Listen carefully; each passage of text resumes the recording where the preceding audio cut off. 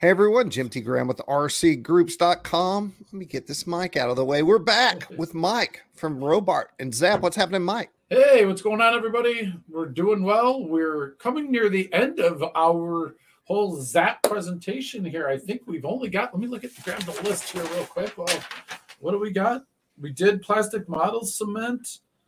Um, we got this one, and we've got one more and then we'll have gone through the whole list of all of the Zap adhesives that we offer. And uh, uh, look forward to doing a recap and you know maybe do another question answer or something. We're, we'll but we'll definitely do a recap as to say hey this is this is it. These are the these are the main ones or kind of a, a quick one two three on them how to's and after that i have more ideas for mike that uh, that we can talk about. Now, today we're going to talk about something super tricky. If anyone out there has attempted to glue plastic to plastic or Delrin to Delrin, Delrin is the kind of plastic that you might use in a servo that you definitely didn't want to strip out. It's a heavy duty plastic. And Mike, I'm going to theorize here. The reason it's hard to get a glue to work with a plastic with wood, we have uh, there's uh, it's porous. Right. glue can right. wick into the the the structure and create a bond and on many levels. But with plastic, especially Delrin, it's super smooth and dense, and there's the only bite is between the two surfaces. Right, and there's no moisture. The only moisture that's in there is in the air.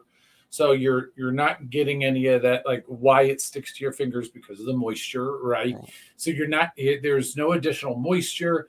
Uh, you're talking about gaps because now we're got larger gaps. You know, you may not have an exact cut. You may have a, a warp. You, you got all these different things going on, and then at the end of the day, it's another chemical, right? It's it, plastics are not a natural um, element or anything. They're a chemical Ah, base right, right. that's brought together. You know, so now we've got additional chemicals coming in. Is there a release agent? So have these been molded and now you've got a release agent on it? Now we've got an oily surface. We've got so many things that happen with plastics.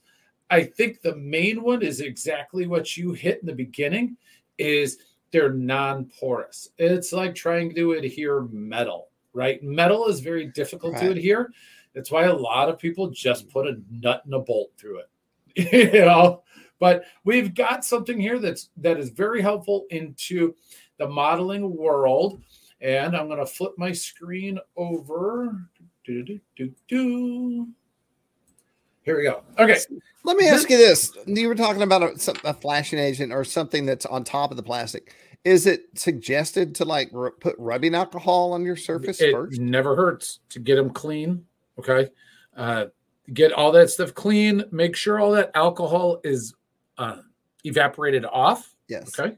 So, uh, but here we go. So this is it. This is Polyzap, and this is for the new. Uh, we're going to call it new age plastics: Lexan, Delrin, nylon, polycarbonate, and we have rubber in here. But as we talked about before, I think your best thing for rubber is actually our Zap RT as well as the Polyzap, or not Polyzap, Zap Goo. Okay. Yes. So what we got here is our our Polyzap. Now this is a CA, so it's a cyanoacrylate. It can be uh, accelerated, which we are going to do today. I've got. I'm not going to pour that because I got the top off. But with your zip kicker, okay. So uh, went back into the shop. I got some pieces of Delrin here. Now what I am finding, the more I use the po- the plastic CAs, is we really have to follow the adage less is more. If you put too much on here, you're going to be holding it forever. You really got to put just a drop. Okay. I'm not going to put a ton on here. And, um, and then I want to make sure I get, try to get a good grip here, get a good hold on it.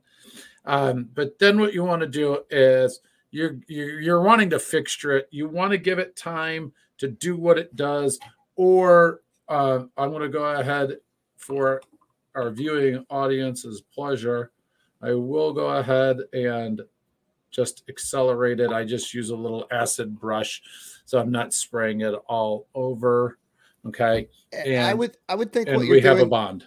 you would uh what you're doing with your kicker is you're kicking the outermost edges of the glue to lock it into place so the innermost Yep. glue can dry as well.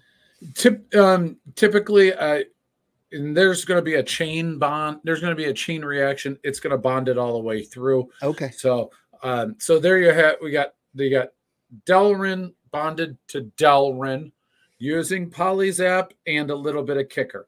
Now, that is you know, one of the the bullet point. Oh, geez, I'm pouring it out now. Just I didn't want to put glue, kicker everywhere, and I just went ahead and did it. I'll put the cap on this. Another how to. Yeah. Um, solves most tough to bond combinations of materials. So again, you know, your Delrin is a is a complicated or or tough to bond material, and so that's where the kicker will come in handy.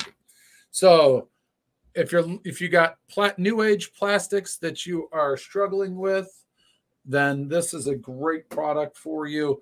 Is check out the Polyzap PT-22 from Zap. All right. Well, I think that covers it. Yes.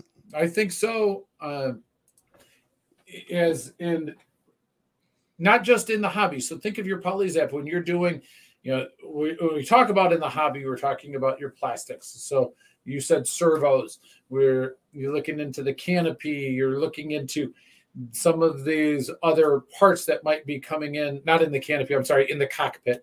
You know, all your little dials and switches to make it nice, you know, anything of that nature or even in your vehicles that you're working on, so on and so forth. Delrin is is used in a lot of places.